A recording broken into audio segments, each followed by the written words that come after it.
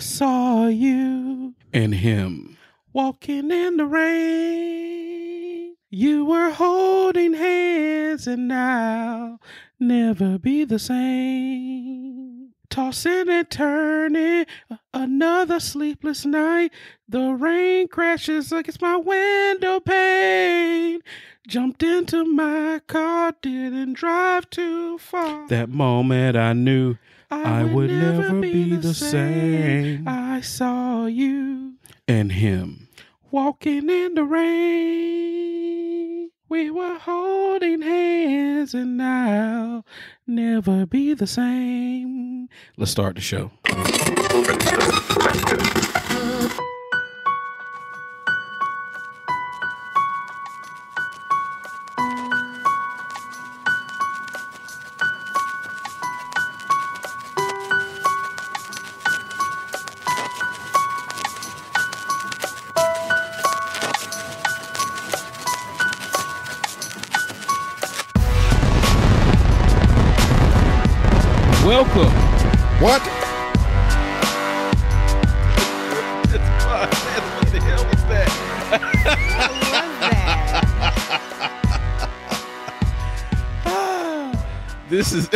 Episode 81. We are your hosts, John, Steph, and myself, Keith. We are joining you guys today as we are coming in hot and fast towards the, well, I was about to say the end of summer, but the end of summer ain't till September, ain't it? Yes. Yeah, the twenty first. Mhm. Oh, okay. Well, for for most places, but you know, for places like Florida where it's summer year round. year round, year round, baby, year round. John, how you feeling today? I am feeling uh great and uh nervous. All right. Well, Since yeah, nervous, nervous about. yeah, car broke down. Oh Yesterday. no. It was a wonderful, wonderful, wonderful experience. Mm, Oh, Yeah. man. Sorry to hear that. that does suck. Yes. Got to deal with it. Yeah. Got to deal with it. So we'll get the bad news tomorrow. It Oh, seems man. like car emergencies happen at the very worst of times. Like, I mean, there's no good time for a car to break down, but right. it seems Right. like it happens smack in the middle of something going on. Yeah. Mhm. Absolutely. Steph, how are you doing? Um, I had a tough day, but you know, I'm I'm okay. That's good. That's understandable. Tough like how? Uh, had a tough client. Just had a client just having a mental meltdown and blaming everything on me. I'm the most horrible person in the world right now. So Mm, it's just really tough. understood. Understood. That's good. That's good. Well, hopefully tomorrow's a better day for you. Because I'm not going to work. Oh, okay. I'm taking off tomorrow. I hear you. I plan to be you. sick. So Yeah, okay. Okay. Ain't nothing wrong with that. Well, I we have a jam-packed show for everyone today. Uh, we're just going to run through a couple of things here. I do want to, before we begin, I do want you guys to make sure that if you do have a Facebook Facebook account on Thursdays at 720, my mother, Antoinette Johnson, goes live every Thursday at the Antoinette Johnson's Bling Bling Blue Room. Please search her name, Antoinette Johnson, on Facebook.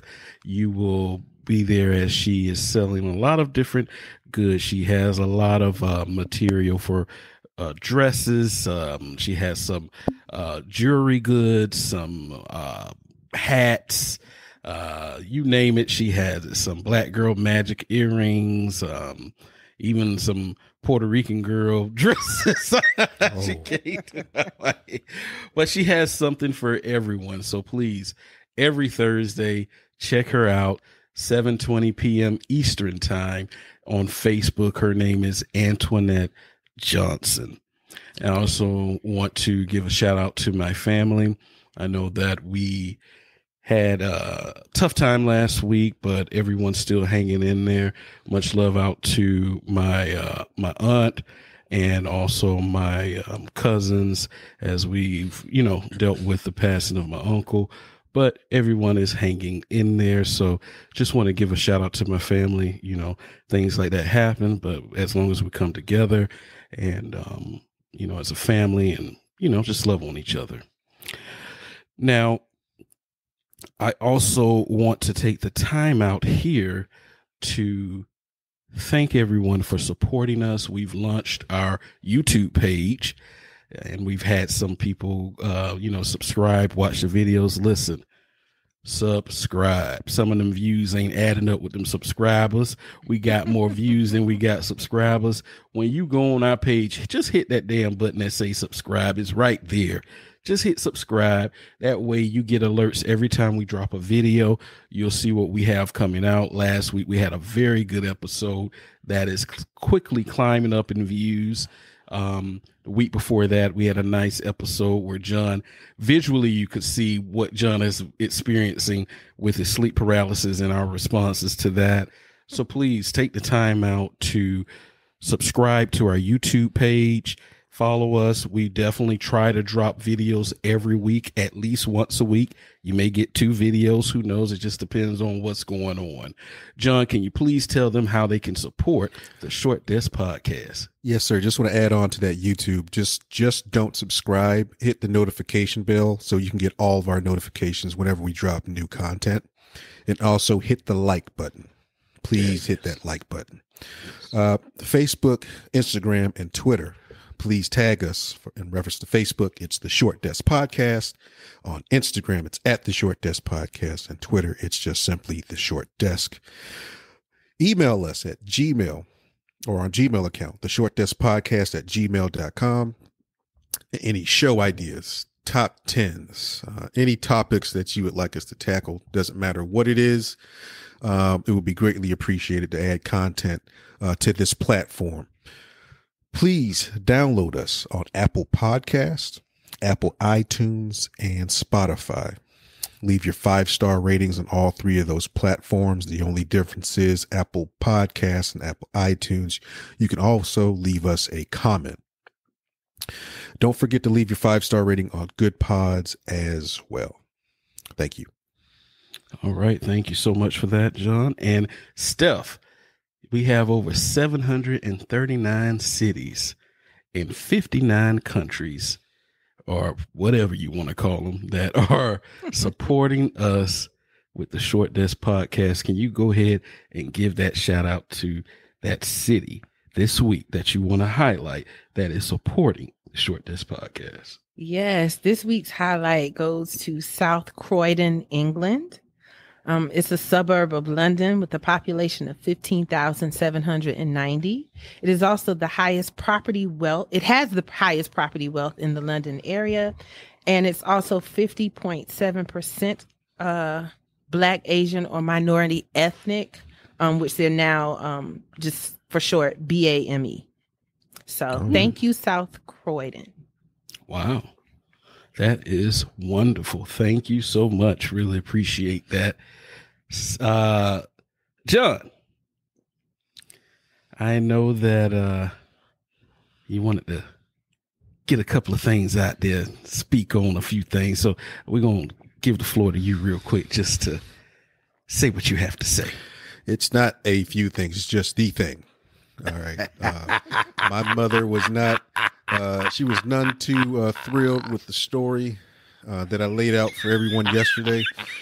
I did embellish a bit last week. Uh, yes. Last week, uh, I did embellish a bit as far as the colorful language uh, uh that was displayed when I was 13. Uh, so I'm going to go ahead and enter in an apology. Sorry, mother, um, for framing you in that light. Um, she did end up getting kicked out of the baseball game, but the um, the four letter expletives and, and things of that nature weren't uttered. Um, she kept it clean. Uh, so, uh, once again, uh, that's an error on my part. Um, did not uh, intend or uh, want to frame my mother in that light, but once again, I do apologize, mom. All right. I know that last week, Miss Steph said she wasn't going to laugh along because she didn't want any smoke.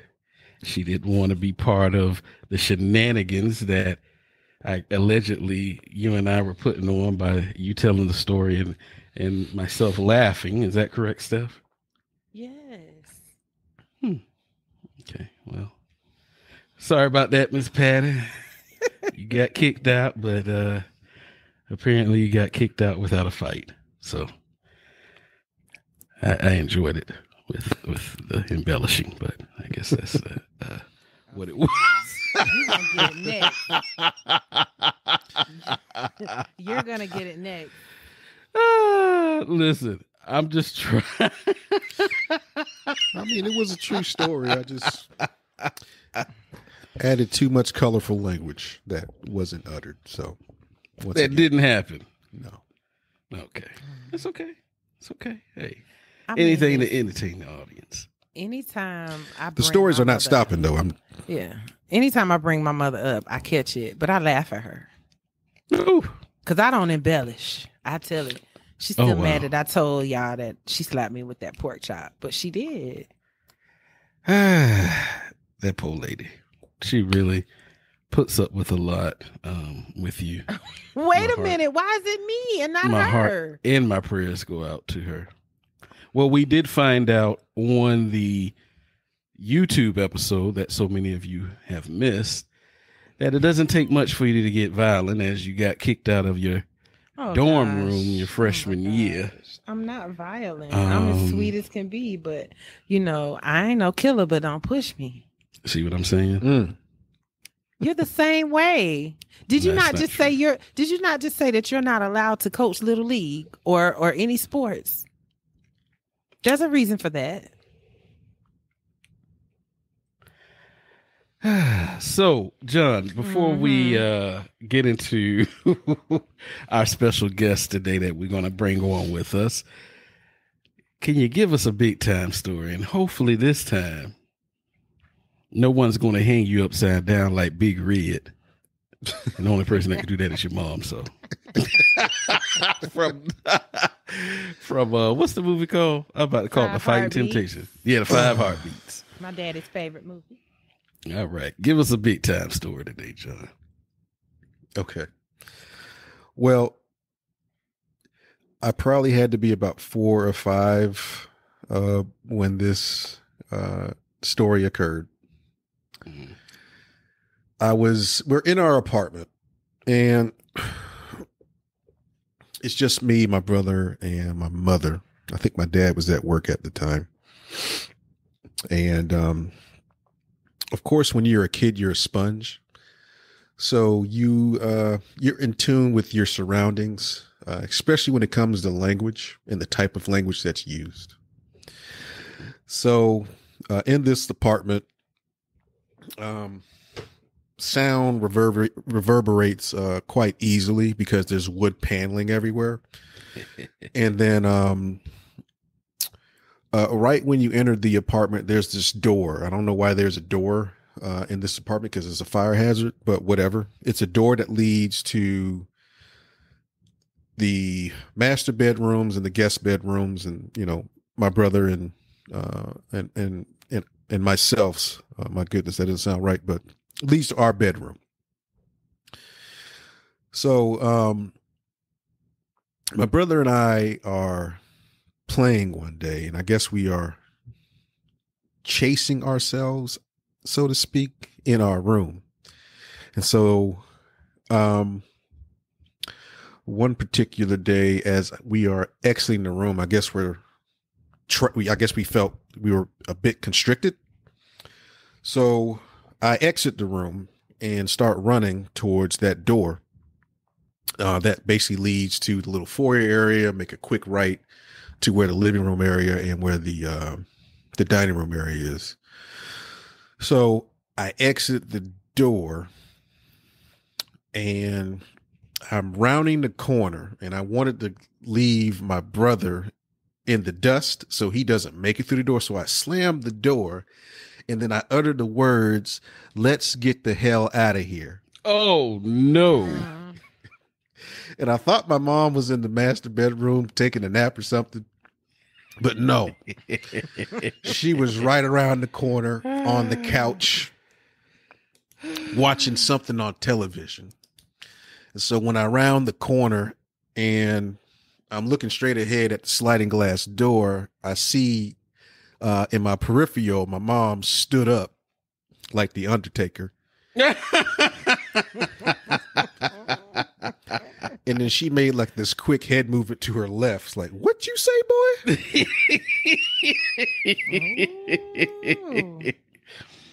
oh. So in my little four or five year old head, I said, well, lie. So um, I said, oh man. she said, what you say, boy? I said, boo boo. She said, I don't, I don't think that's what you said. What did you say? So I said something else that had nothing to do with the phrase I just uttered. It was probably like, um, let's get the heck out of here. I tried to dumb it down. She said, No, I heard uh, a curse word. H E double hockey sticks. So then finally I relented and said, Yeah, I, I that was me. I said that. Mhm. I said that. So um of course she was very upset. She was wondering where she where I got that language from. Mhm. And um of course I didn't say it. I probably came from somebody in the household and I was just emulating what I what I had heard. So, you know, around this time when my parents were together and I was about to uh basically get the brakes beat off of me. Oh Lord. Um, of course, both my parents whooped me, but Mhm. there's a difference.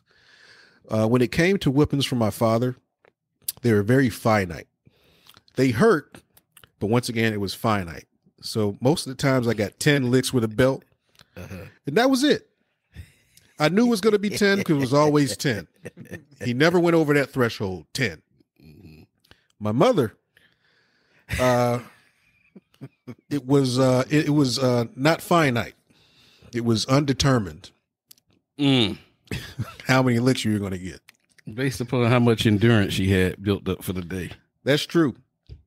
and of course, this is a Saturday af- afternoon, so she had plenty of endurance because she didn't have anywhere to be the next day.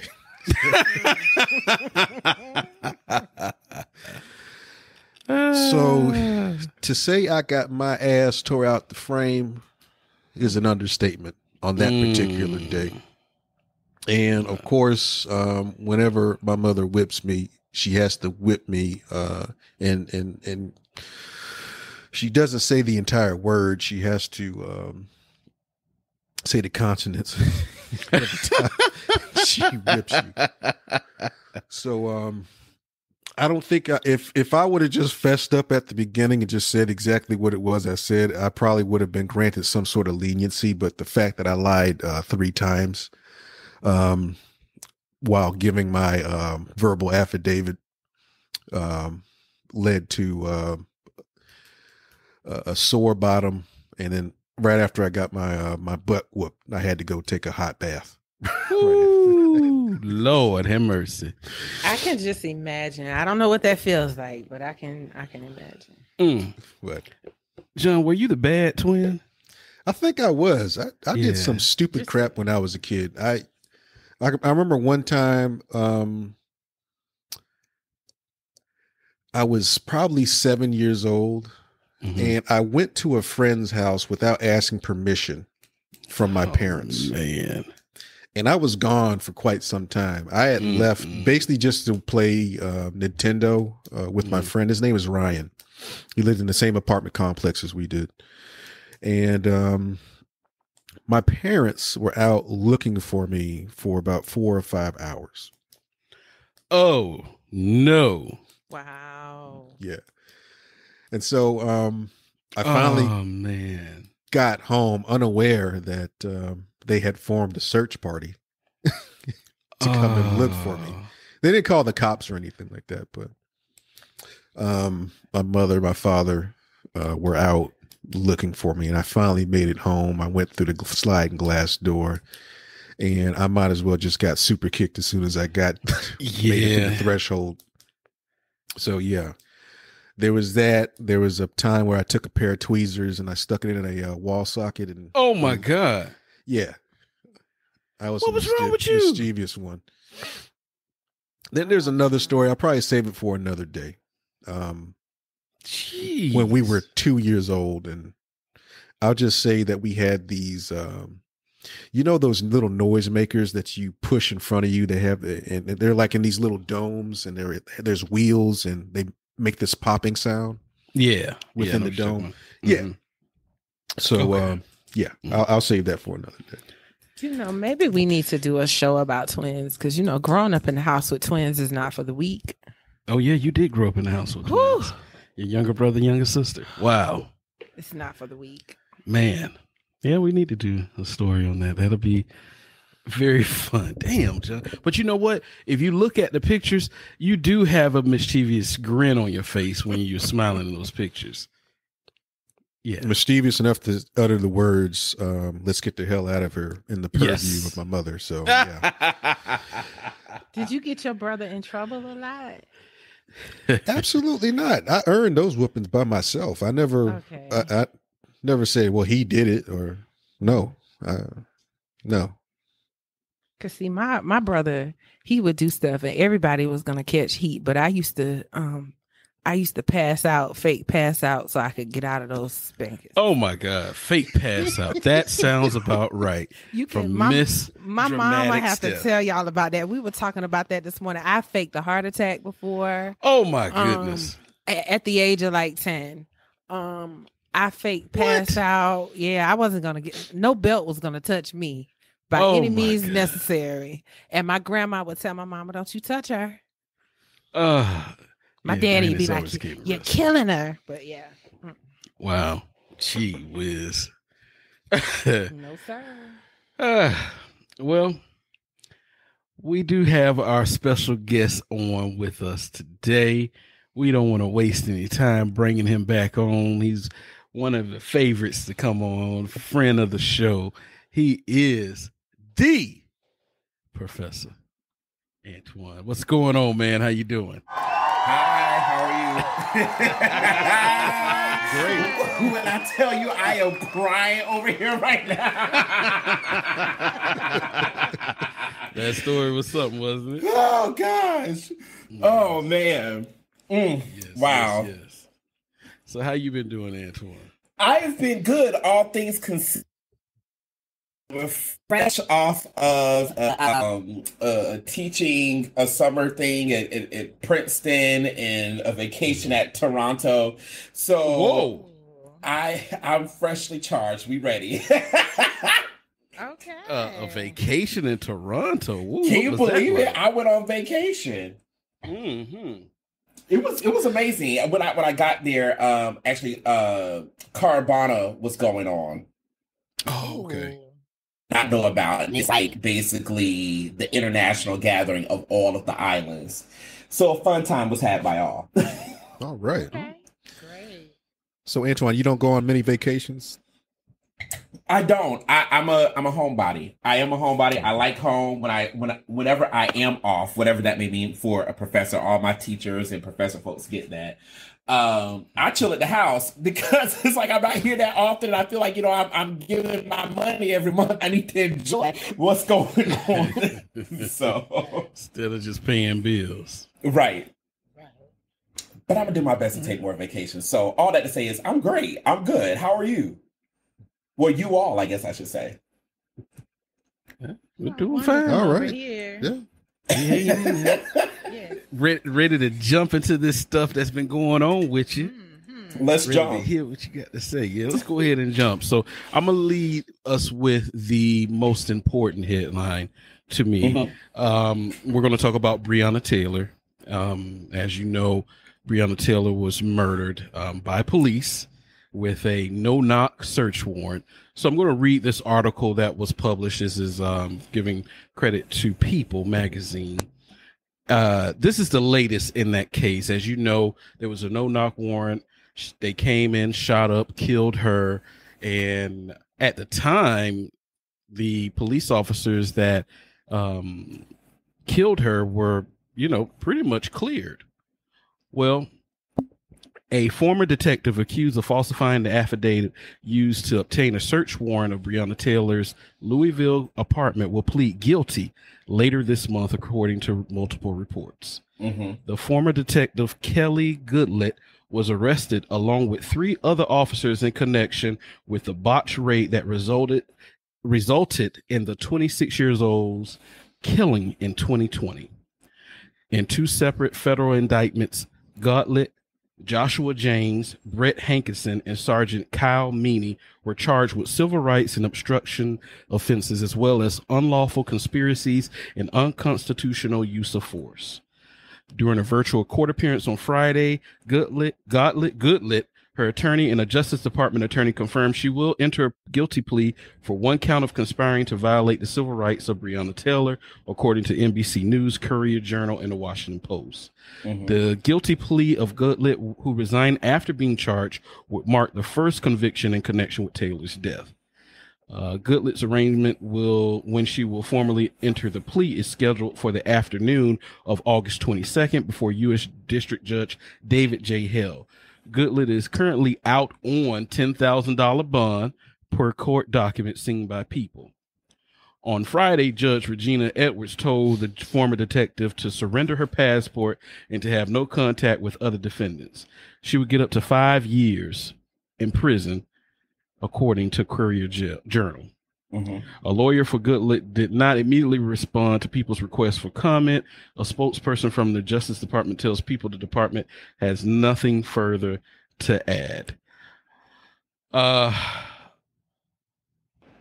Attorney, Gen- Gen- Attorney General Merrick Garland announced the charges against Goodland and her co-defendants earlier this month, alleging Taylor's rights, Breonna Taylor's rights, were violated when James, who was fired from the department in 2021, along with Meany and Goodlett, sought the warrant to search Taylor's home, knowing that the officers lacked probable probable cause for the search.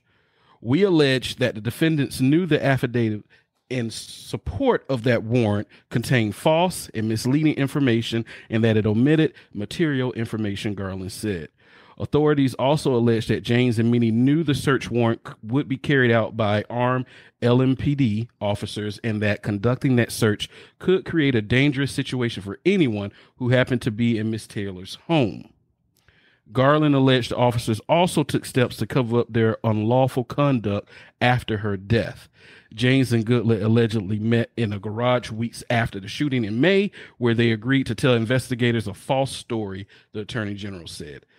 Breonna Taylor, an inspiring nurse who had been working as an EMT, was in her apartment with her boyfriend, Kenneth Walker, shortly after midnight on the night of March 13th when Louisville Metro Police officers executing a no knock warrant charged through the door and fired more than 20 shots, killing Breonna Taylor. Her killing, along with the murder of George Floyd two months later, sparked nationwide protests against police brutality and racial injustice. So, that's a lot. hmm Um, to me, it seems like a lot of nothing, but hmm um, they got away with murder. She could take a little plea deal, get a couple of years. She's out on bond right now, enjoying her life. She only had to put down a thousand dollars. Um, Ten thousand. ten thousand. I'm sorry, ten thousand bond. Uh, let's talk about this. Um, you know, we talked about this on the show, and you guys keep me on the straight and narrow. Either episode eighty or seventy nine about um the McGregors with Ahmaud Arbery.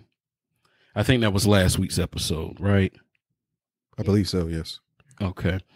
And I felt then that for the first time in one of these cases, I could truly say that justice was served um, when it comes to indictments and, you know, things of that nature when um, these people are on trial. Um, it was, as John, you know, stated out. It's, it wasn't a comical event, but you know, it did become comical because John said if you know Travis or uh, Gregory decided to live after that life sentence, come back to life, they're gonna go back for another life sentence. Mm-hmm. So, you know, uh, again, I felt like justice was served. I don't. This isn't justice served, and I feel like this is. um a show. I feel like somebody may have leaked something and they're trying to get ahead of that. I feel like the attorney general, even though he's using all this pomp and circumstance, he's in on it. Um, um, Uncle Ruckus Jr., you know, he's the uh, the isn't he the state senator uh, there? Oh, Mr. Cameron. Yes, he's don't call attorney. him Mister. He's the uh, attorney general. Uncle Cameron. for Kentucky. Yeah. Okay. So let's talk about this. Antwann, I know you've been following this for a while. Mm-hmm. Let's get your thoughts on it. Let's get John's thoughts. Let's get Steph's thoughts on this. Let's talk about this, guys. What are your what was your initial thought and thoughts when you heard about the convictions with the other officers, and then this one comes with the uh, Goodlett saying that she's just going to go ahead and enter a plea. What were you, what was your thoughts, Antwann? Um. So first of all, thank y'all for having me back. I'm always happy um to your initial um thoughts right around uh this is uh specific is very very much on point and um, one of the things that I want us to be aware of is what we deem justice to be and what we deem justice not to be, right? So, even in the case of where we are talking about like Ahmaud Arbery I don't necessarily consider that justice served because it's a reinforcement of the state, right? It is the state I do understand what black people like are saying in, in, that moment, right? And the reason why I'm saying that is because it's going to connect with what um with my initial thoughts with Breonna Taylor.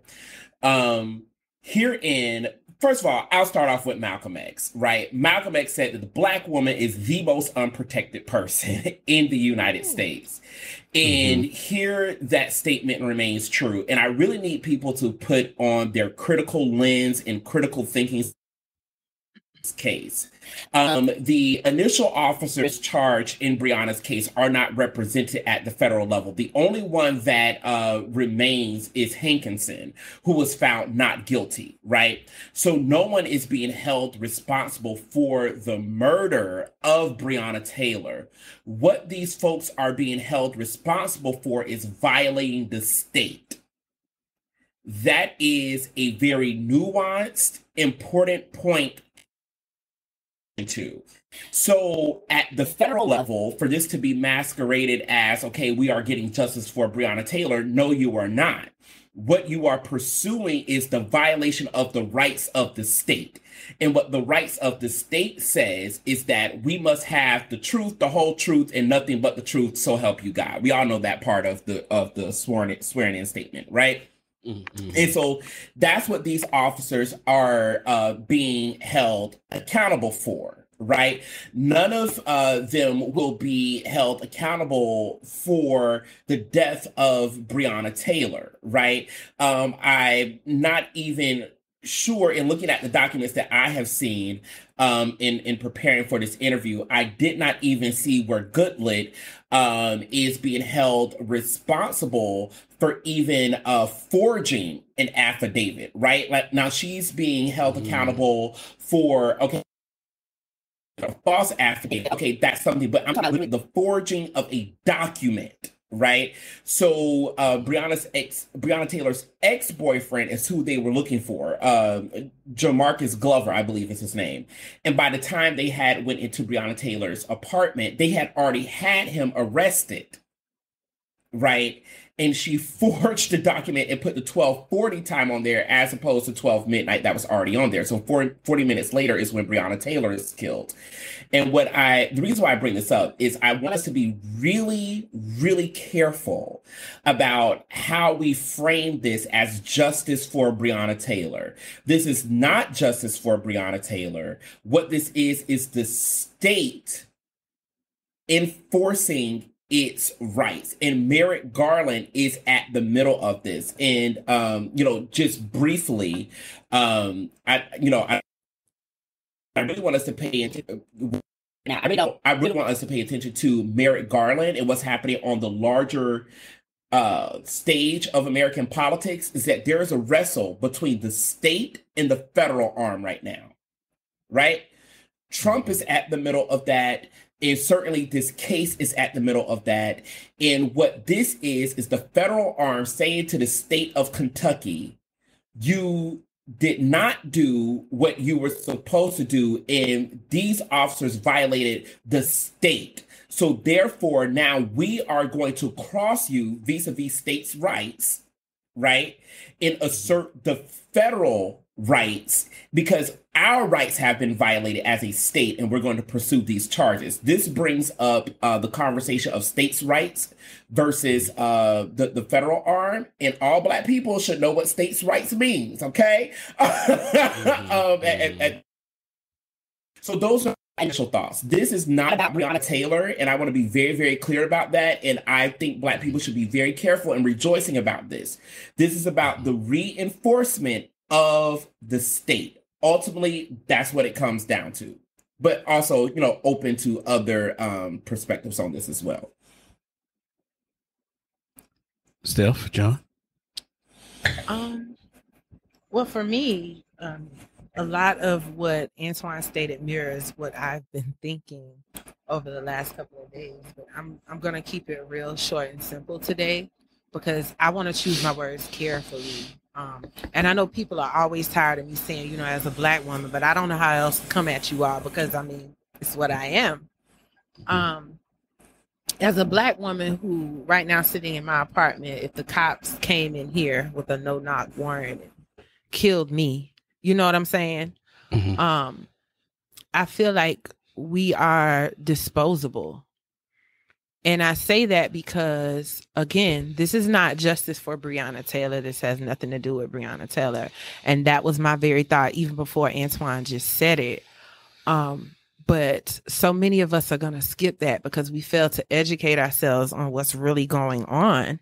And we're going to be happy about this. And again, there is no justice for this young lady who was killed for no reason. You understand what I'm saying? So, mm-hmm. as a black woman, I just feel real raw, real emotional, real unprotected, and real disposable. I mean, I, I don't know how else to put it. Um, you know, when situations like this happen, I've I've started turning my television off. And I know that's a bad thing because I'm one of those people I like to know what's going on. But I've mm-hmm. started turning my television off because the more I see, the more I read, the more I hear, the more disgusted I become because it feels like black women like we're just yesterday's trash. Yeah. Um I've been saying that since the beginning of this case because of course not you all. I'm not going to lump everybody um into and, and put you all into one little box. But for the most part, it just feels like black men didn't care. That's mm-hmm. just my take on it, you know. Feel mm-hmm. free to disagree. It just feels like black men didn't care about Breonna losing her life. You're not wrong and, in that. Um, because Floyd Floyd got all the attention and it was like mm-hmm. you did it was pretty much silent mm-hmm. from the black male, mm-hmm. men in on the support right. and the outrage when it came to Breonna Taylor. So you're 100% dead on on that. And that's been the case with a lot of things. Um, I hate to take it here, but I look at Brittney Griner, and I mean, I have my my thoughts about what's going on with her too. But I actually saw somebody try to compare you know, everybody saying bring Brittney home to Iman Shumpert getting arrested for having marijuana. And they were like, Are you all gonna um, you know, say we are Iman too? And I'm sitting there looking like apples and oranges, these are two totally different things. Iman wasn't in prison, he's not in prison in Russia. Mm.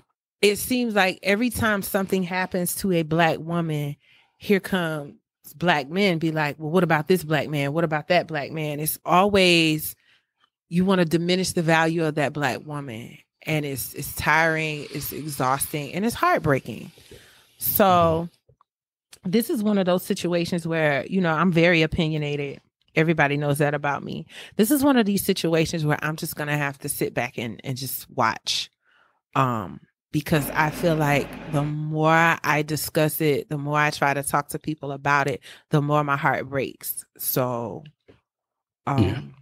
I feel like I'm at a loss as to what to do, to be honest. So just my thoughts. Understood. Understood. Um, that that's pretty much how it's played. John, did you have any thoughts on this? Yeah, it's just a uh, dog and pony show at this particular point, um, fed to the masses Mm-hmm. uh, to make us think that um, justice uh, will be served. As Antwann mentioned before, there's essentially uh, no mention or acknowledgement that uh, of uh, that someone was murdered uh, by state agents, i.e., Breonna Taylor, and um, other Black lives are uh, put at risk uh, because of the farce uh, investigation and affidavits and um, uh, testimony that wasn't testimony from uh, a, a mail clerk or something like that to determine if um, the uh, ex uh, drug dealer boyfriend was there. Mm-hmm. And um, I, I, I just feel as though um, everyone's falling for the banana in the tailpipe um, once again. And I don't think anything substantive is going to come from this or going to come from this, rather. Um, once again, it's just uh, uh, another uh, farce uh, for the masses to go ahead and consume uh, under the guise of quote unquote justice, uh, which is not what this is. So, um, I don't know what the litigation is going to. I. I, once again, I don't know. They they they say that the other three individuals are uh, could spend life in prison, but uh, at this particular point, uh, the violent act uh, that was uh, perpetrated by uh, these individuals, they're not going to have to serve any time for that. So, I hate to say it is what it is at this particular point, but I guess I'm desensitized and numb at this particular point because uh, nothing has changed, and once again, it's uh, basically being fed, uh, spoon fed uh, BS uh, once again. I mean, I, I I will say, I'm sorry, Keith, but you don't go ahead. No, no, no. You go right ahead. Okay. ahead. Um, you know, I, I will say like these, like the the points that both like John and Steph are bringing up, like is definitely um spot on, right? And this is why I say like this is about the state asserting its rights, um, particularly when we look at uh Kelly Goodlett, right? Um, Mhm. it's alleged, at least at this point in time, until it manifests, right, that the federal arm of the state has been able to um, get at her in such a way that she will now that she's alleged to be testifying against her colleagues, right? Um, and that if that is the case, um, that she will not receive any more than than five years. I suspect that they will find a trap door for this white woman to fall through, as American society always um, and the reason why I come to the analysis of, um, I always try to invite people into my thinking in terms of like why this is about the state, why, excuse me, why this is about the federal arm asserting its rights over the state and how this becomes like states' rights versus the federal arm, right? That's what I was going to ask you. is that when we look closely at this case, right? A lot of people say, well, Antwann, how do you come to that conclusion? Is that the Department of Justice also currently has an investigation open against the Louisville Metro Police Department, right? Right. And they are investigating them for, and I quote, engaging in a pattern of law enforcement misconduct, improper searches and seizures, and racial profiling, right? Mm. That is an exact attack, as some right wingers would say it, on states. So not only are they conducting a side investigation, but then they are coming forward and they are saying you violated this part of the federal code and mandate that all states in the United States have agreed to. And by way of these persons, we are now going to assert this.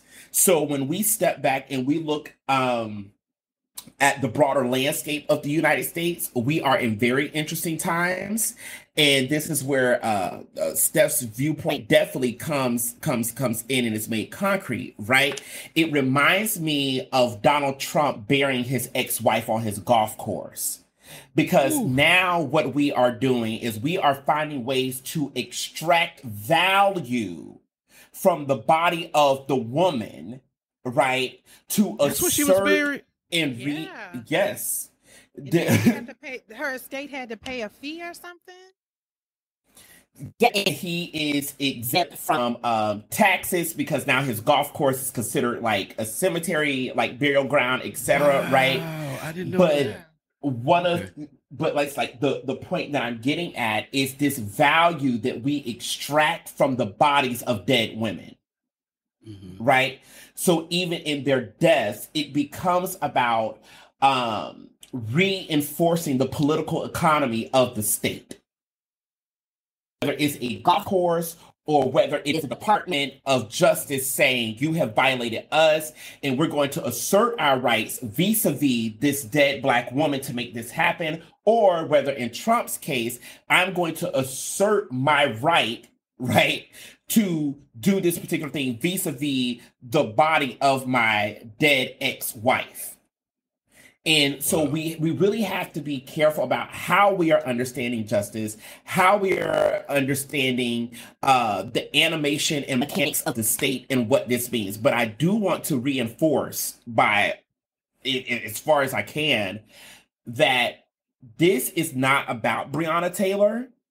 And I want Black mm-hmm. folks to be aware of that. It is about the state extracting value from what took place in Kentucky in being able to say, we now, as the federal arm, the federal representation of the United States, all 50 states put together, including Puerto Rico, will now exercise this right over Kentucky in the particular strain that that creates in this political moment as the right goes further right and as we are dealing with Trump still in the middle of the United States. And we really have to pay attention to what those moves are and, and what's happening here. Wow. Wow. So let me ask you this, Antwann. Who is representing? So it's a federal thing, right? Mm-hmm. Is what you're saying. So is the state fighting back against the federal in this case? In this particular instance, what I see is the federal actually fighting against the state as opposed to the state okay. fighting against the federal because what the state okay. did was it allowed for a for those who actually killed Breonna Taylor right to escape mm-hmm. Mm-hmm. they were found not right, guilty right. Kentucky said, We have done our due diligence. We sent it before a jury. They are not guilty. They've been fired from their jobs, which doesn't keep them, by the way, from being hired by the Highway Patrol or another jurisdiction, just to put that out there, right? One of these police officers were actually allowed to retire, right? Good look. Uh, yeah. yeah, she resigned. Yeah, she resigned from the police department. Yeah, wow. one resigned, one one retired. So the state said we have we have um, allowed you this this backdoor escape route. In the federal, it say ah ah ah, not so quick, right? And where have we seen this conversation before, black folk? Now, at the most basic rudimentary level, we have seen it at the case of slavery, right? This is why we have Juneteenth. Right, right, right. Federally, we were Texas was like not so quick. We need some cotton, right? But then also when it comes to Jim Crow laws, right? Mm-hmm. Certain states were like, fine, we will desegregate, we will integrate, and other states were like, ah, we're going to take advantage of that with all deliberate speed that's in the Brown versus Board case. And this is what happens when, as scholars, we talk about if you do not know your stuff, you are doomed to repeat it. And what I would warn folks of even though most people do not see a connection between Trump and Breonna Taylor, there is definitely a connection here.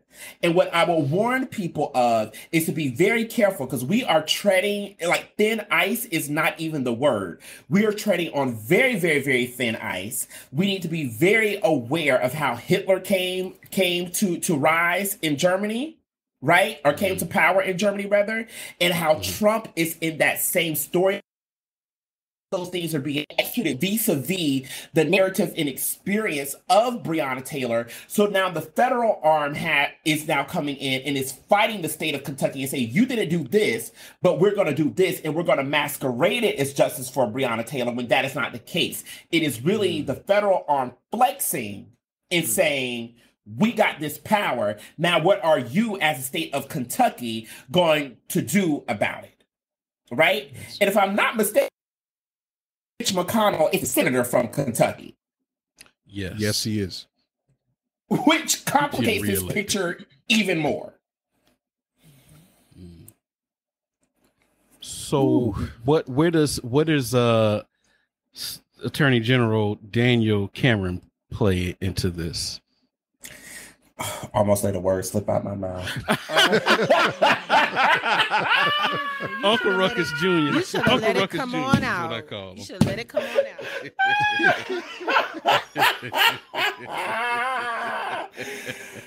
oh my goodness. Oh my gosh he comes into play with this because those of us who who study law know this, right? Um, that that when there isn't a charge or when there is an indictment, we have this saying that if a prosecutor who is representing the state wants to prosecute a ham sandwich, they can get it done. Mm-hmm. That is the same, right? And if he wanted this to move forward in a particular way, he could have made this happen in a particular way. But he too is complicit in this state project, right? So mm-hmm. he he he bears um uh what's the word I'm looking for? He, Culpability. He, yes, thank you. That's exactly it. He bears culpability in what is happening here. He allowed if there escape door that was allowed for these agents of the state, i.e., cops, to escape. He built the frame, he built the door, and he unlocked it with the key. Wow. That is his responsibility in this. Because understand, if a state wants to prosecute you, you going down. Believe me when I say every piece of evidence that Merrick Garland and whichever agents he put on from the forged documents to the conversation that took place in the garage, he was aware of as the attorney general. Mm-hmm. He was aware of. And to me, that brings up brings up questions of ethics, right? Mm-hmm. And you know, I, I don't want to say, okay, what did he know? What didn't he know? Oh no, brother, you knew.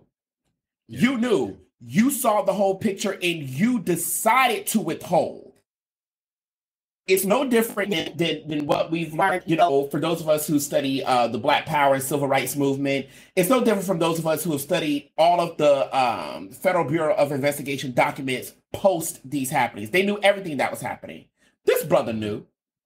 He knew. He knew documents were forged, but it all becomes about Blue Lives Matters, defend the state, and of course, Blue Lives Matters FBI raiding Mar-a-Lago. Mm. Right? It's Blue Lives Matters until we run up in the Capitol on January 6th. Do you understand what I'm saying? So this is what I'm talking about. Like black people, as I cannot stress this enough. Y'all caught me before classes begin in, in a few weeks. Um, so I cannot stress, I cannot stress this enough.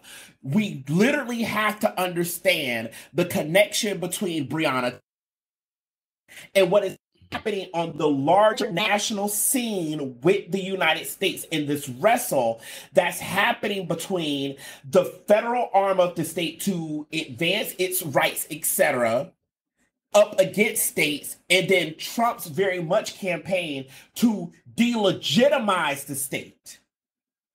Right? Mm-hmm. And that mm-hmm. whole playbook is straight up out of Hitler. We are on some stuff that we need to be And so I would not look for the federal arm, the Department of Justice, to say these people are responsible for um, murdering Breonna Taylor because none of the murderers are on the stand in federal courts. You understand? What they Right. are on the stand for is submitting a false warrant. That false warrant has nothing to do with Breonna Taylor. It has everything to do with federal violations. You violated the federal, right? They will never be held accountable for for this black woman's life. And herein, this is the space where Breonna Taylor and um, I- Ivana Trump, right, share space in that the lives of women are being used to further reinforce the power and reach of the federal arm of the United States, right? But also facilitate this battle between states' rights and federal rights that, as a people, we have seen before. I'm not sure if this is making sense, but hopefully it Uh, is. Makes plenty of sense. Yes, yes, it is. So there was no judge involved. They forged the signature of that no knock warrant. Mhm. Are we to believe? Do you believe that though? No, I, I don't believe that. Um, I, I believe that a judge absolutely signed that document. I believe that the judge went off of the information that cops gave them, Mhm. right? That that they contrived. So let's be clear about the situation. When um as an archivist, right, my my dissertation work for those because people are always like, prove your PhD. Well, here we go. Uh, part of, part of the PhD, right, is I am an ar- I am an archivist. That is part of my methodological approach. And when we look at the documents, right, in this particular instance, what we know is that that judge moved forward based off of gave them and what we do know is and this is to steph's point right that these cops colluded with one another they knew that mr glover who is uh breonna taylor's ex-boyfriend was not in the was not in her apartment they said that actually her apartment was a soft target. So if it was a soft target, why are we busting down doors, right? If it's a soft target, why is um why is one of the cops moving from the to the back to the back window to shoot uh bullets through through that window right? Uh why, why is all of that that happening? And it's because these cops colluded to keep black people in their place. Remember the name of this particular unit within this particular police department was place based investigations. I cannot underscore that enough. The name place-based investigations that have that has now been disbanded, obviously. And what that says to me is even though Breonna Taylor's apartment was quote unquote a soft target, it's in the documents, y'all go look it up. They still served that warrant after they had apprehended Mr. Glover. Breonna Taylor ended up dead after they had um apprehended Mr. Glover because they wanted to reinforce black people belong in the state of Kentucky. And I'm here to tell you now, while I'm not a scholar on Kentucky, I have read plenty of black studies on the state of Kentucky. And Kentucky is a place-based state where black people are expected to stay in a certain place and do a certain thing. So even in uh going to her apartment, it was about keeping this young black woman in place. It Mm. in in her in her boyfriend that they knew of, right? Um, and shout out to him who who shot the officer in the leg, right? Um, who's the charges were later dropped that the state of Kentucky tried to um bring up trumped Yeah. up charges against him, um, and they ended up dropping those charges. But yes, I absolutely believe a judge signed off on it based upon um the the the, the false uh, narratives that that these cop that these cops contrived to bring. That um former officer Goodlett is expected to testify against her colleagues about.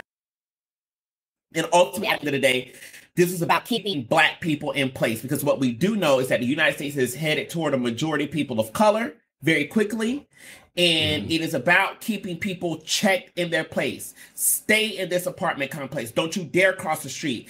And I honestly think that's what that lesson lesson is about, right? Part of the reason, and I I, I, know this may sound jumpy, but I have to connect this, right? Um, part of the reason that Rodney King ends up getting the shit beat out of him is that he gets in his car and he drives to a completely different part of Los Angeles. For those people who know Los Angeles, the Rodney King beating does not take place in South Central. It takes place over in the suburbs of Los Angeles, right? And that beating was about you are out of place. And the reason why I say that is because Rodney King is in the 90s, my brother. We are now in uh, the, the 21st century in 2000. You understand what I'm saying? And now we have place based investigations now killing a dear sister because they want to make sure stay your ass in place. And if you don't want your life to be threatened, don't date these particular kind of. There's a very specific message that the state of Kentucky is sending here.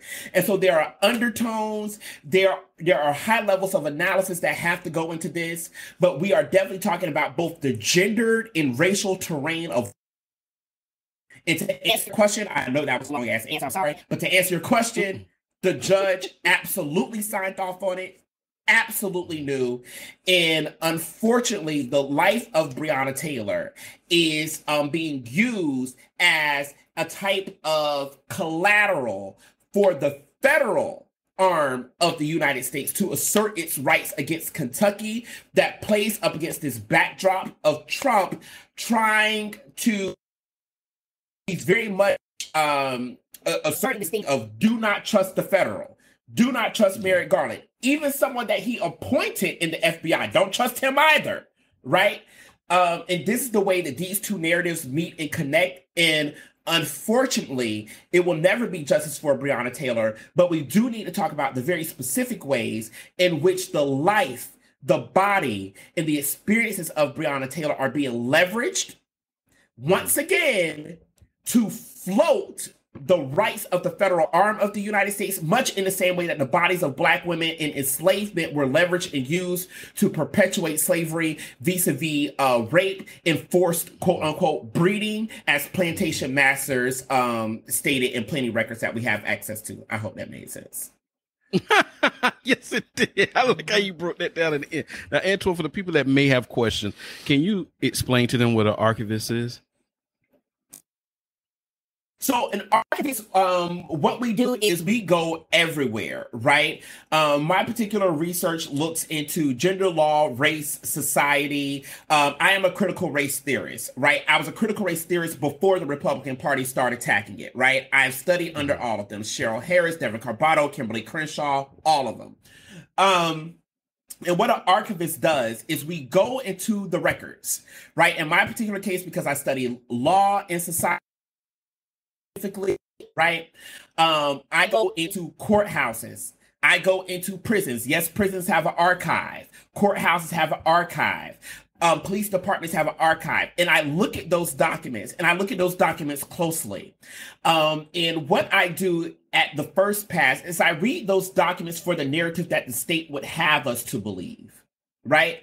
That means taking the document on face value.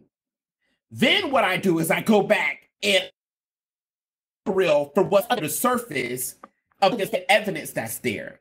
So essentially, what an arch- what an archivist is, excuse me, is someone who looks at a historical record. And historical can be something from hundred years ago.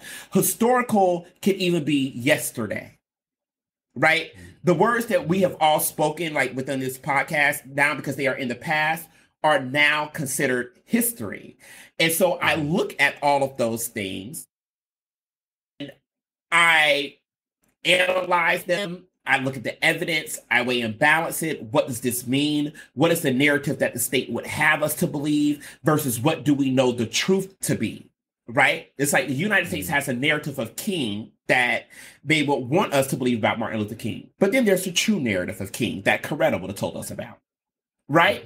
um, so that's essentially the job of an archivist. It is, it is uncovered.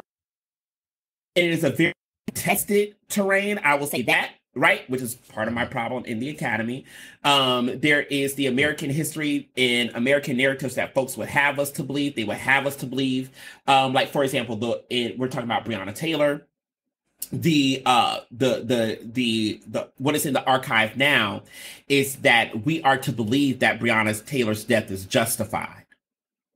They were found not guilty. We weighed and balanced the but the job of a critical archivist is to go in there and turn out everything. I consider an archivist to be this an investigative journalist, which is why I love my job. Because I'm an investigative journalist, I'm going to get to it. I'm going to ask very specific questions. And nine times out of 10, I'm going to come out with a differing opinion that your more run of the white scholar is not going to come out with because they're going to come out with an opinion that reinforces their viewpoint. I'm going to come out with an opinion that speaks to the experiences of Black women. Hopefully and prayerfully, I always invite sisters to criticize my work, let me know where I went wrong, um, you know, and and I'm going to come out with an experience that speaks to Black people. So it's it's very much a political thing, but that's what an archivist is. We're an investigative journalist that goes deeper than Channel Nine, CNN, MSNBC, etc. Okay. Thank you for that. Really appreciate that. Um, before we move on, because I, I did want to kind of touch on something that you were referencing earlier. Uh, Steph, John, did you have anything else in regards to um, this news about everything that's going on with Breonna Taylor's? Uh, well, it ain't Breonna Taylor's case about the state and the federal. yeah, I don't. Okay. John? Nope, just very dangerous times at this particular point. So states do what you're supposed to do, so we don't end up in a more centralized, uh, authoritarian uh, regime. Yeah, absolutely. So Antwann, you were referencing uh, Donald Trump, mm-hmm. former president, um, and his war against the federal, uh, the government, so to speak. And he is warring. And, yes, yes, he is. So if you guys don't know, I'm going to reference the New York Mag.com Intelligencer. Um, a week ago, FBI searched Donald Trump's Mar-a-Lago home. The former president and many of his Republican allies continue to rage against federal law enforcement, even Mhm. after a warrant revealed that agents were investigating potential violations of the Espionage Act and that they'd found multiple top secret documents. The warrant was unsealed on Friday, a day after Attorney General Merrick Garland, there he goes again, announced that the Justice Department had filed a motion in court to do so. Though reporting indicates that the FBI was seeking documents involving nuclear secrets, there are still many unanswered questions about what they were trying to find and whether they found it. Here's what we've learned so far about the investigation. What does the warrant say? The search was related to potential violations of three laws, including the Espionage Act. Espionage Act. One of the laws concerns the concealment, removal, or mutilation of classified materials.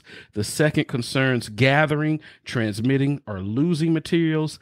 And a third pertains to obstructing an investigation into these matters. The warrant does not list Trump by name, does not accuse him or any, any other individual broke the law. So, what did the search find? Attached to the warrant is a receipt of property that lists what the FBI took from the premises, listing dozens of entries with 11 containing classified materials ranging from most to least classified. One entry contains various classified TS SCI documents, which by law must be kept in a secure government facility akin to a vault. There are four sets of top secret documents three secret and three confidential. On Thursday, the Washington Post reported that agents believe some of the documents they went to look for involve nuclear weapons, but this was before the search, and it is not known if such documents were recovered. It was not clear whether they pertain to U.S. weapons or those of a foreign country or the precise sensitivity of the documents. In response to the reporting, Trump said on Truth Social that the nuclear weapons issue is a hoax. The FBI recovered an executive grant of clemency for Roger Stone, granted before Trump left office.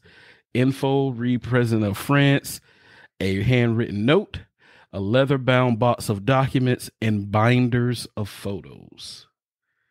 Um, I don't, I don't know why I find this funny. I, I'm, I'm, I'm, I'm, I'm trying not to laugh about all this um, because I know there's something much more at stake here, and you were talking about this earlier in reference to Breonna Taylor.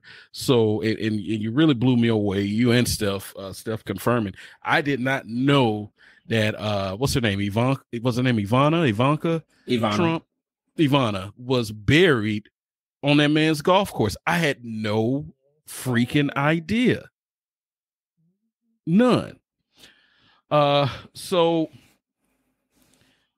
the next thing is what caused the feds to go looking. Attorney General Garland said during remarks Thursday that he would not explain why he personally signed off on seeking a search warrant, but that the department does not take such a decision lightly. Where possible, it is standard practice to seek less intrusive means as an alternative alternative to a search and to narrowly scope any search that is undertaken. Uh yeah, there's a lot to this. So, Antwann, come on, let's jump into it. Let- I mean, this is a long article. I you you already got it, brother. So come on, let's jump into it. Let's let's discuss this thing here. Let's jump in, right? And so this is what I meant meant earlier by Merrick Garland is at the middle of this, and I hope that what you just read allows people to zoom out and understand what is taking place on the larger stage in these United States of America, as the as the president always states, right? We are literally dealing with the battle for the United States, and what I um, want to compel people to really, really do, and this is not meant as hyperbole. This is not meant as exaggerating. I am very serious when I tell people this. Please research how the rise of Hitler happened. Mhm. Please research that, right? Um, because the Nazi party was not a mainstream party. Let's be clear about that in Germany at, at the time, right? And so Trump's whole thing here is he doesn't have to say what the indoor Department of Justice is doing is incorrect. He just really has to create enough doubt. Mm.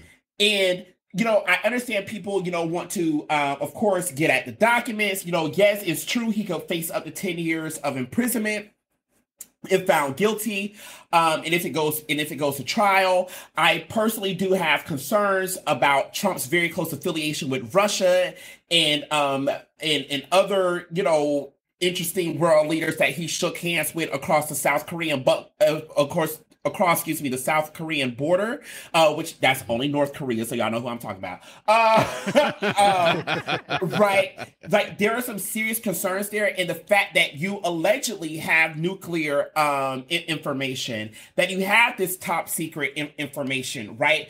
But we also have to be aware of the splintering of the united states. Now let me be clear. I'm not y'all know me now. I'm not a person what the united states right that's just that's just mm-hmm. not my thing that's not me Right. However, I do want us to be very, very aware of the the very clear moves that Trump is making here, right?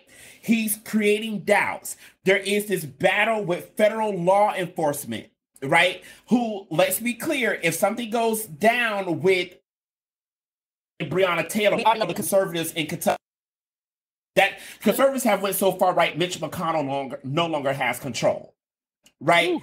conservatives have went so far right that ted cruz will allow donald trump to call his wife all types of names and not care right? Mm-hmm. Conservatives has went so far right that marco rubio is now begging to lick the bottom of donald trump's feet right mm-hmm. That's where we are. So, um, I, I again, I do have concern about uh, relationships. I do want to know what's behind him in this obsession with Macron, who is uh, the chancellor of uh, France, right, and what that means for these documents.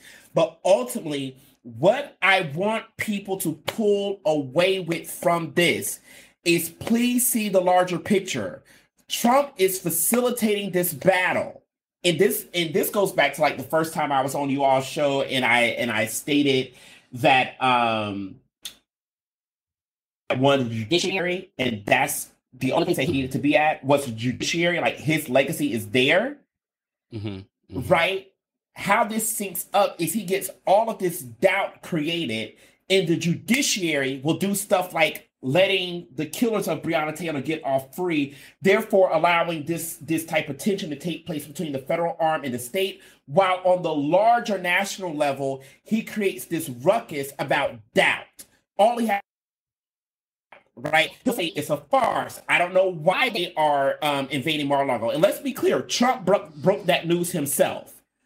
Mm-hmm. Trump broke that news himself, which, first of all, I will give it to Merrick Garland. That was a genius move when you're dealing with a narcissist. Just do it quietly, and they don't come out and say it, right? Yeah. So Right. he he did he you know did say that, and then we cannot you know forget about Ivana Trump being buried on his golf course because that's him further sticking it further federal um, to, to the federal arm of the United States vis-a-vis uh, the the Treasury Department, right? Oh, I'm not going to have to pay these taxes now because now I have this dead body that is on my that is on my golf course, who probably would never want to be there. Let's be clear about that, right? Right. um so these are the things that that that we that we have to be aware of i you know i do think it's important that uh, the department of justice vis-a-vis merrick garland um is has asked the courts affidavit we can see everything else but do not unveil that affidavit or do not unseal it and i think really what we are talking about if we're being honest here and my honest opinion is that i do believe that this is an issue of national security I do believe that there is an issue with transmitting as well as obstruction. Right, we dealt with this while he was in the White House, uh, Mhm. talking to people that the United States, as a nation state, would have never talked to. Mhm. I do want folks to understand we have a while while many people who organize um in in protests different things of that sort have asked for a third party and i believe that there is you know validity in that there is this third partiness that's rising in the united states that the gop and or the republican party cannot contend with. And that's what we're talking about here. That's really What's- what we're What's the third party? party is the MAGA party. That's the Make America Great Again party. We're talking about Trump's lawyers allegedly. Let me cover y'all. Allegedly, um, leaked documents Thank you. to. Got no money. you know, like leak leak documents to uh Breitbart, and they doxed two FBI agents. They Mm. doxed two FBI agents.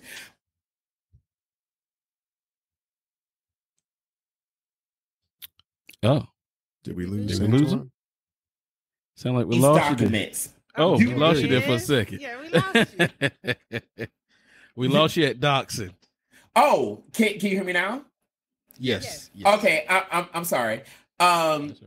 So uh, I'll I'll back up a little bit, right? So uh, and I and I, and I hope that's not Cohen Pro. Shout out to y'all. Uh, uh, but so so Breitbart uh, is is alleged to have leaked these documents, right? And they have doxed two FBI agents within those documents that Trump's lawyers allegedly leaked to Breitbart, right? That they doxed to ex- FBI agents. Um, next, we know that allegedly the Department of Justice slash the FBI um, is also dusting these documents for fingerprints. Who touched them? Who might sneak over to Mar-a-Lago? We know that Mar-a-Lago um, does uh, host many international foreign leaders of influence who the United States would never fuck with. We know that for for certain, and that they pay for those act those points of access. So, at what point do we consider Trump a domestic terrorist or a domestic threat? Right? What is his motivation for this? What is the intention? And so, really, what we are watching being played out stage as a whole is we are watching this battle go down between Trump, Merrick Garland, and even Trump's own appointed person to the FBI. Because remember, he fired James Comey. That's right. He got him up out of there and he appointed his own person. And now he's fighting against that person. But what's even more interesting is that the governor of the state of Florida, the crazy, or DeSanto, DeSantis, excuse me, right? You know, this past week, it said that the FBI raid was justified. And I'm interested Whoa. in knowing what is this relationship that that is happening and what is the conversation that Trump is happening with him? Because now it is alleged that DeSantis is gearing up for a I presidential run. Listen. and and what and what does that mean right? So we have some very interesting stuff happening here. And what I want black people to understand I've said this before on the show not our fight. Mhm. this is not our fight. We are dealing with once again, history will repeat itself for those who do not understand it in very nuanced terms and ways. It is not a mistake that less than 25% of the US population holds a bachelor's degree. Mm. And that is because when you step into collegiate spaces and you contend with this history and you know better, then you do better. And let me be clear, like when you go to the right university, you take the right courses, right? Because we have we have people that come out of Harvard and Yale that are still idiots. Uh hey Yes. Clarence Thomas. Um Okay. Woo. I love it. Love it. but you know, so it doesn't mean that just because you know you go to college, you have like some type of thing. But it does. But what I'm trying to get at is that we we really got to understand you all this larger push and pull that's happening on the national. And Trump is absolutely trying to disrupt. We're not trying. He is disrupting the United States as we understand it. If you Mhm. ask me, uh, going back to Roe versus Wade, that is just the breach in the wall we're about to see some serious serious stuff happening here and it and it starts with trump just creating doubt and there will be states that are states of refuge and in in quote unquote a refuge state or a safe state i believe california will um, you know, what the state of Washington will probably be one of those states, right? Um, we really have to be careful with what we're doing here. And um, you know, I, I'm gonna say the same, and I'll shut up after this because I know I've been talking for a minute, so let me shut up. Um, I'm going to say the same thing here as I said with Breonna Taylor. It's not necessarily about the fact that he has documents, even though that's important to national security, and I believe it to be important, and I believe he's definitely doing something. Mhm. What is on the agenda here is this battle between federal and the state. Some people want a centralized state, some people say states' rights, right? But that largely that is a right-wing conversation. And what Merrick Garland and others in uh, Biden with his moderate self is trying to say is that we got to keep these United States together. Everybody's got to be together, right? Mhm. But now, what that Roe versus Wade breach allows to happen is this conversation of states' rights. What this Breonna Taylor case thing allows to happen again is this conversation of states' rights versus the federal arm. And what the federalists say is that we have overarching power over the United States collectively. But when we examine, quote unquote, the founding fathers, right, what their desire was, then this is true, I will give them this, is that they wanted more states' rights and very limited federal intervention. Right. But states' rights means we now got to have a conversation about what Black people can and cannot do, right? And different things of that sort. And Trump is playing on this in a very specific way. Do not trust the. He's saying, do not trust the federal um, arm of the state. Do not trust the FBI. Keith, can you believe? y'all, John, Steph, all y'all, can you believe it? The the. The, the conservatives came out and said defund the FBI. I said hot damn. Woo. Yeah. Yeah. Hot damn! I never thought I would see where Black Lives Matter and the ultra right would meet. Like Yeah. what? Yeah. Defund the FBI? Like Marjorie Taylor Greene is is is like high key doing fundraising, and so is Trump, right? Vis-a-vis defund FBI. Now, what these That's Blue what Lives Matter Leader. folks, there it is. What these Blue Lives Matter folks are going to have to explain to me is how that is different from defund the police. Hmm. Right. They can't. This is what I They can. and I'll shut up on that note. Let me sip my little, my little drink. Listen, you messing with the supreme leader. Now, what what is what is going to be interesting for me is the shaping of this upcoming presidential election, right? Mm-hmm. From Oh, the right side, because now you have DeSantis, who embodies what the far right MAGA ideals are, and and he's kept those. And you have Trump, who was the originator, the supreme leader. However, on some of the things, he's kind of wavered away from that, you know, with the whole vaccination and and all those other things, uh, staying masked up and and things like that. He kind of wavered there and lost a little support. So it's going to be interesting to see what this is going to look like for what is it, 2024, right? Yes, That's right. These have been the longest two years uh, Yes. since Biden been. okay. Um,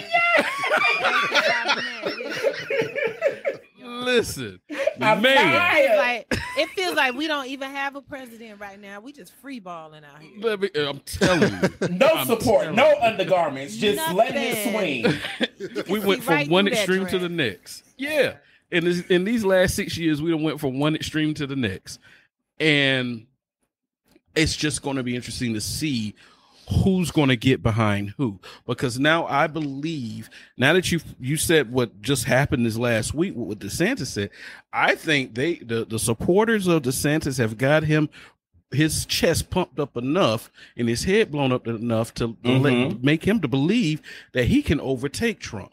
You He's not going to be it. Trump's running mate. You better say it. So, really, black folks, this really isn't our fight because they about to have war on that side. They are, but when I tell y'all, like as a black woman, I want to get the hell out of Georgia. Yeah. Mhm. Well, it, it's it's it is it's Georgia, it's Texas, and John and I are at the battlegrounds right now Oh yeah. because where where forty five live and where DeSantis live. Mhm. Yeah. They ain't about But to you know blow me what? up over here. my- I my like my no question taxes is- though. My my question is that. for Steph, right? Like, I want to know how. So we know Georgia's politics, right? And so the Mhm. extreme right that is located in Georgia is saying defund the FBI. I want to know how you are balancing that with Stacey Abrams saying give police more money. Listen, Mm, you know what is what? I'm glad you around brought that up, Antwann, because Keith can back me up on this. When Stacey ran for governor before, I tried to warn people about Stacey Abrams. Yes, and I she say that because I remember, you know, me doing what I do for a living and, and going to different fundraisers and stuff like this. I can remember distinctly remember Stacey Abrams rubbing elbows with with the likes of people like Brian Kemp and those from the Republican camp. Oh wow! So when she came out, I was like, what happened? Like when did when did this happen? You know, and people, let me tell you, they they were dragging me through the mud for talking about Stacy. And so when she said that the other day, I'm like, hmm. Hmm. I remember trying to warn everybody about Stacy. I Yeah. don't trust her. And the Mm. same goes for now Andre Dickens, who they would die if they didn't get him in office. ha, ha. Let's go there. Let's go there. They were gonna die if they didn't get him in office. And I will admit, Andre had me fooled. He had me fooled. I was like, oh, Andre is gonna be so good for Atlanta. The minute he was sworn in, more money for these police stations. More Mm. all we need a bigger police presence. The police officers are killing people left and right in Atlanta. We don't need a bigger police presence. Have mercy, Mm, mm, Lord. mm, mm, mm, When the mm. coons But come you to know, town, you Mm. you got Wow. exactly. You know what I'm saying? It's like you know raccoons. You know when they come out, they're looking for trash. I'm screaming That's right exactly. now. That's exactly what. That's exactly what Andre Dickens and Stacey Abrams are doing, and they're rubbing around looking for that trash here in Georgia. And that's why I say, as a black woman, I gotta get the hell out. Wow. Wow. Ooh, talk to us about trash. Listen, people people talked about Kasim Reed, and yeah, Kasim was a Mm. little crooked, but Kasim wasn't out there rubbing elbows with these conservatives. He wasn't kissing conservative ass, excuse my language. So say what you want about Kasim Reed, and which you know our friend of, a sh- of the show, Rock and I, we have our hangups about Kasim. Kasim Mhm. wasn't out here being a whole coon in these Atlanta streets. Mm. At least you knew who he was. Right. Yeah. He's a crook, he's a liar, he's an adulterer, but he's not a coon. So Wow. I could so that's a without- different type of fight with Stacey Abrams and uh the other guy. Y'all not he they, they wow. Wow. Right. But you Let me tell know, Keith, something. honest. I'm sorry. Go ahead, Steph. I'm sorry. I'm sorry. I was about to say, should somehow Stacey win that election, she's gonna flip and be the female version of Andre Dickens when she gets in office. Mark my word. You heard it right now at 8:17 p.m. on August 18th or August 15th, 2022. I said that. So when it happens, if she makes it into office, I want people to reference what I said right here, right now. Mm-hmm.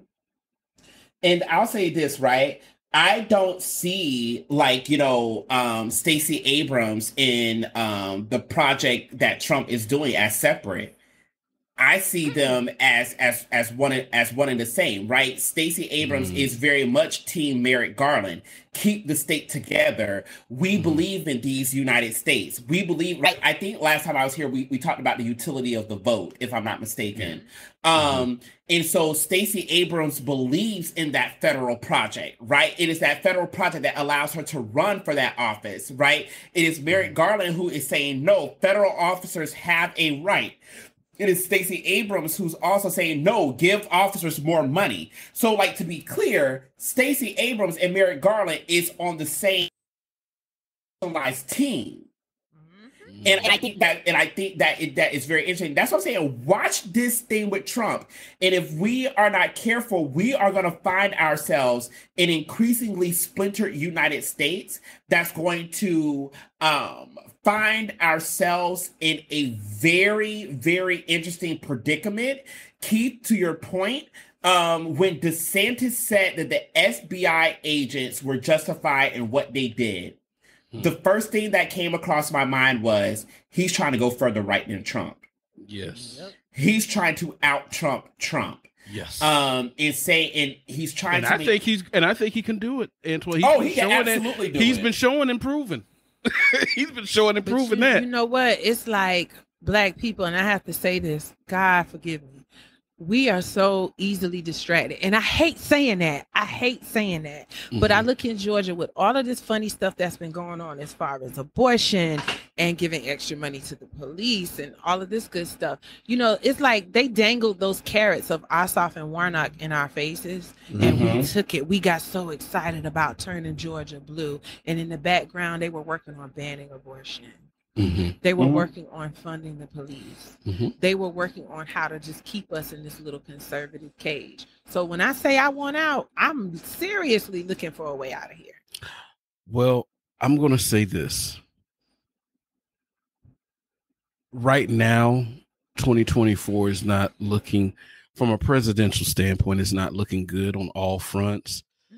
But I will tell you, if DeSantis gets into that, gets into that office in 2024, because if he beats Trump, he's going to beat Biden.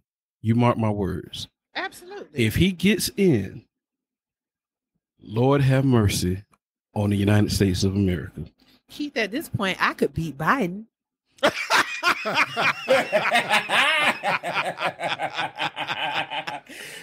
facts are facts, mm. America. Demented hunk of doodle is riding bikes, falling off of them, catching COVID. He ain't doing nothing. Yeah. Like, Yeah.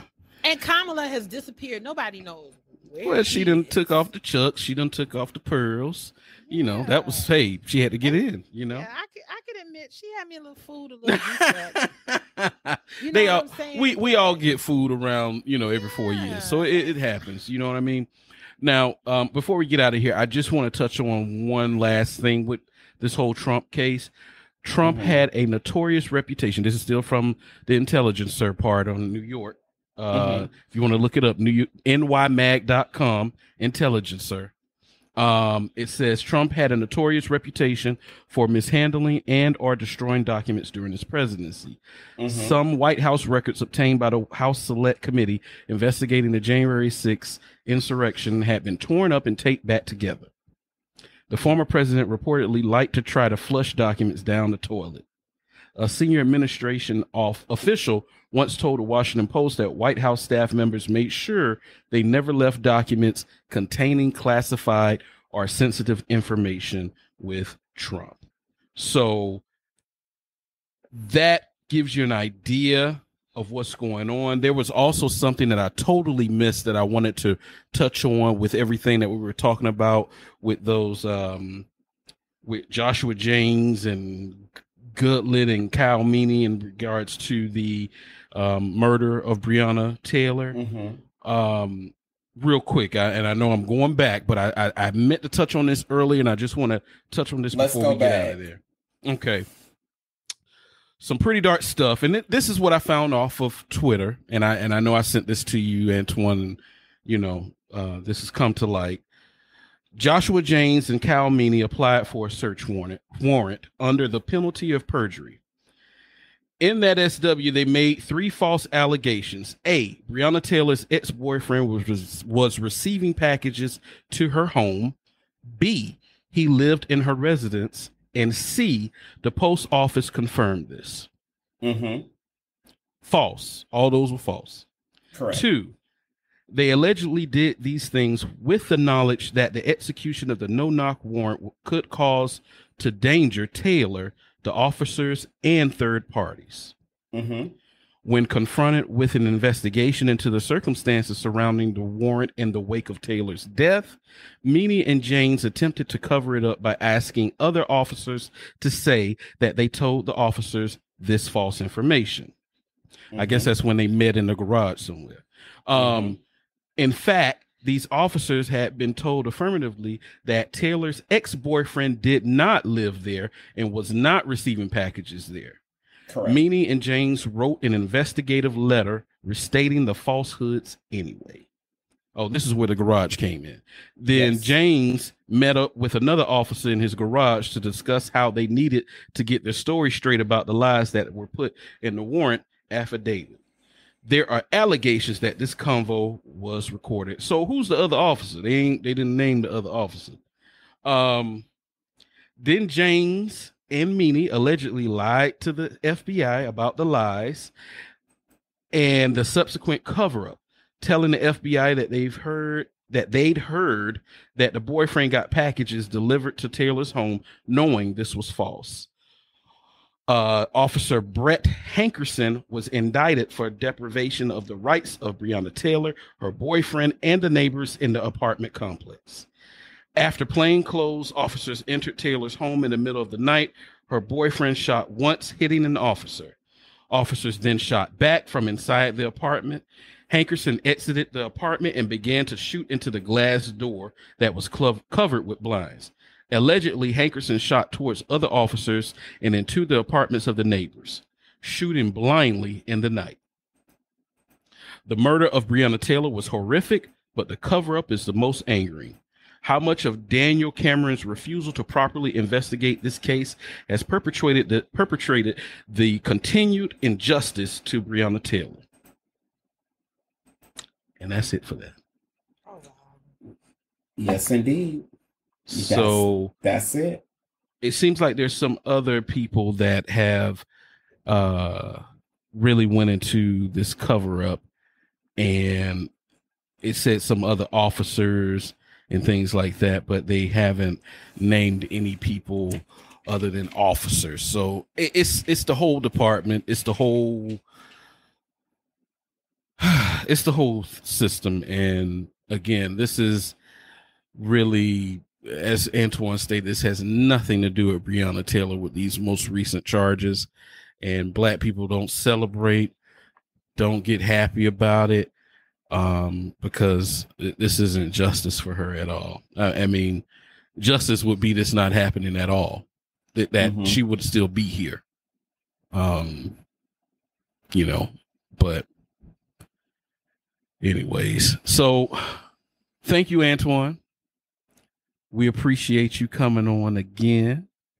As we like to call you the professor. you, kind I al- sir. I always get requests. When is the professor coming back on? Oh, oh we gotta have the professor on our YouTube on our YouTube channel so they could see the professor. And, and and when he get when he gets excited, all them dreads just go to shaking. Them locks, be, my them mother locks be now going all over. Loves Antwann. My mother is now a huge fan of Antwann, and she just asked me the other day. She was like, "When is Antwann coming back?" I didn't tell her she was he was coming for this episode this week, so she's gonna be. excited. Good, good, I yes, love yes, absolutely, absolutely. Oh, I'm glad But, to be um, here. Thank you all for um, having me. It's always a pleasure to be uh, in conversation with you all. Yeah, no problem. Thanks, man. Well, that'll end it for us today. We ain't gonna do no top ten today, so we may do it on the uh, YouTube show. We'll see. Okay. But um, I think we've had our fill today. Mr. Antwann once again giving us everything that we need. We are the Short Desk Podcast. Holla at your girl and your boys. That's the beauty of it. I grab a dog and I choke him and I kicked the shit out of him all day long. My foot up the dog's ass, just bang, bang, bang, up the dog's ass. That's my pleasure.